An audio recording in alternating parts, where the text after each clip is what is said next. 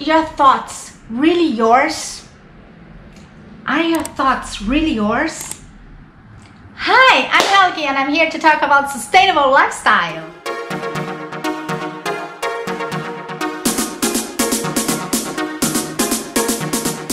Isn't that exciting? yes, I'm enjoying it a lot. And I'll give you a coin for your thoughts now.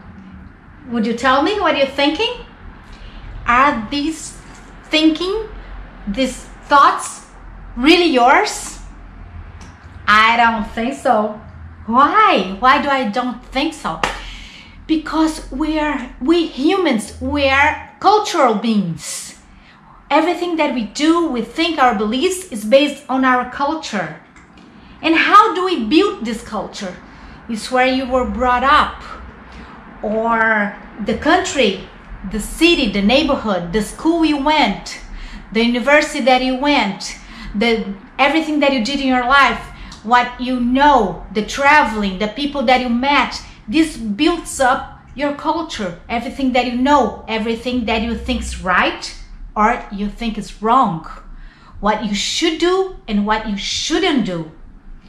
And then comes one more detail that's not so tiny propaganda, advertisement.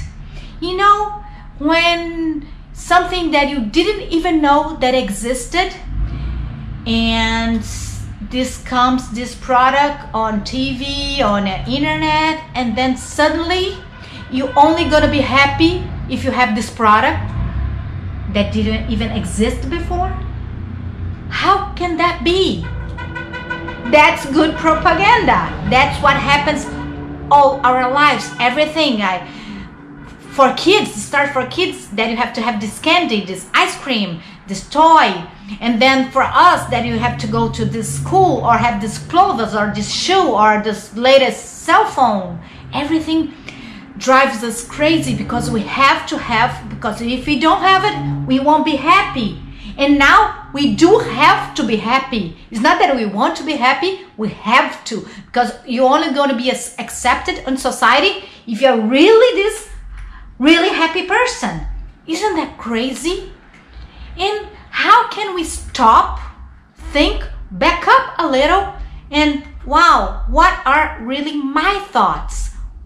What am I understanding of this world? What world do I want to live in?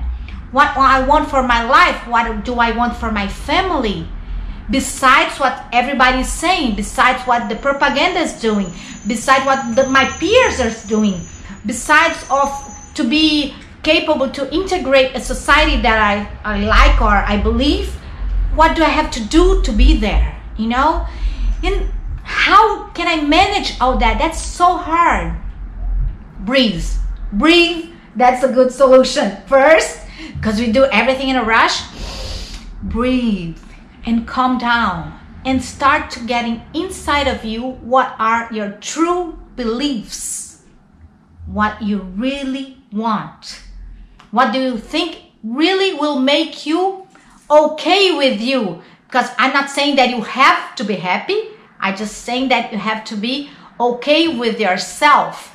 Sometimes not in being happy. Sometimes you want to be the really clever.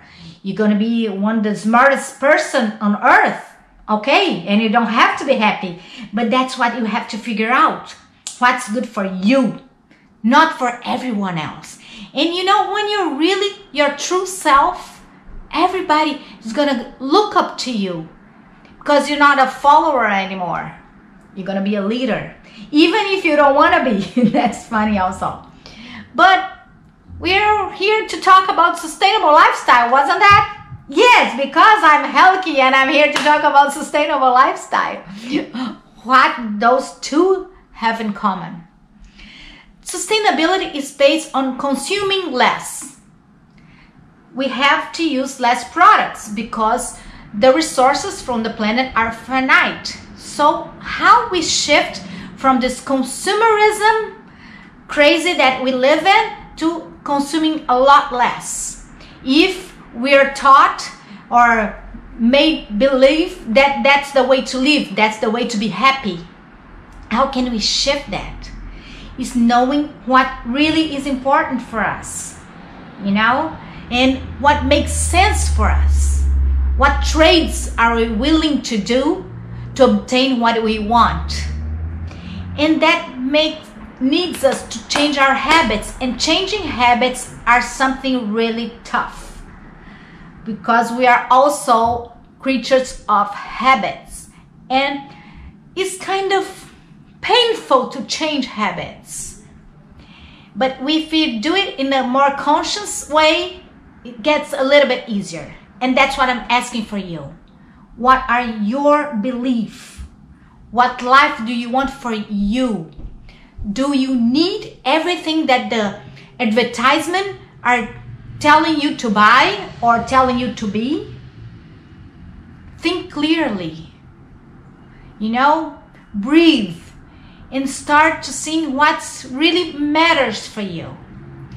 And belonging for you and the place that you want to belong is really important. Go for it. I'm not telling you do not go for it. Go for it. But have to be important for you, had to make sense for you, you know? And that's also about sustainability because inclusion is sustainability. Is if we have society that's all divided, only have space for one kind of people, it's not sustainability. A great society, a sustainable society has place for everyone. So to be inclusive, everyone have their own space. And today we're kind of different talk. What I'm gonna say was about that, or uh, about our behavior, but I thought was something really important for going to the next chapter that we are going. Like we have to be really feel good in our own skin. You know, we have to be proud of who we are or who we became. You know, that's fundamental for achieving the next step what we really want to do. Okay? Thank you for being here. Thank you for listening to this. And if you want to spread this information, I think this is really helpful for a lot of people because you have to be accepted the way you are. Believe that. You have to be accepted the way you are. Okay? And you're gonna be whatever you want. And let's do this journey together Thank you for being here. Thank you for sharing this information. See you next video. I hope I do. Beijo.